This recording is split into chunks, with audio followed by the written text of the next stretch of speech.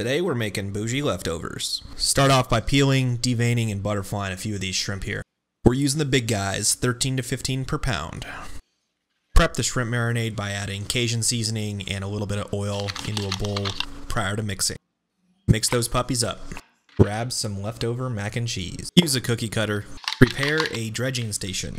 These mac and cheese cakes are dredged in flour, tossed in some egg wash, and then pressed with some panko to make sure they're nice and crispy. You may need to form them a little bit after the dredging process to get them to the right shape.